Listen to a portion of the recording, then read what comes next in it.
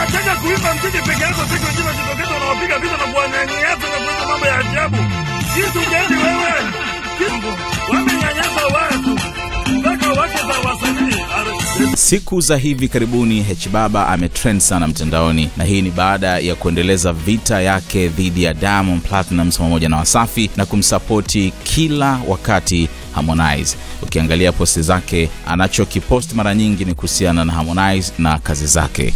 Sasa hiki ni kitu ambacho kimemsababishia apokee mvua ya matusi kutoka kwa mashabiki wa Diamond na mashabiki wa WCB kutokana na hiki ambacho amekuwa akikifanya. Lakini pamoja na hivyo, hii imemkera aliyekuwa mkewe, ex wake tuseme, Flora Mvungi ambaye kupitia uh, ndoa yao waliweza kupata watoto wawili na kutokana na sababu ambazo wanazifahamu wao wenyewe ndoa yao haipo tena. Na flora mvungi amechukizwa na tabia hii ya shibaba ambayo inapelekea tukanwe yeye pamoja na watoto wao. So hiki ni kitu ambacho kama mama anahisi hakipasi kuendelea na anayesababisha ni ex wake uh, hbaba. Kwa hiyo amemchana hbaba kwa kuandika yaani hivi mtu unajisikiaje kutukanwa mitandaoni?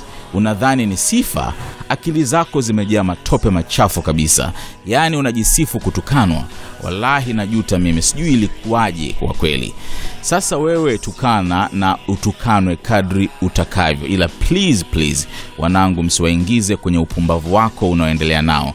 Staki na nilishaamua sitaki kujihusisha na chochote kinachokuhusu. Sasa siwezi kukaa kimya kuona wanangu wanatukanwa sana hii wiki na wewe ndio sababu. Sitaki pumbavu zako koma wakutukane wewe na wanaokuhusu sio wanangu staki sijui ukoje sasa unapata faida gani? Labda kwa hayo unayofanya akamfyonza. Kama kawaida zuberi bas na kisesa zitafikisha ujumbe huu. Sitaki wanangu wahusishwe na upuuzi wako unaofanya. Jamani e, hawa wanangu hawamuhusu huyu mtu kabisa.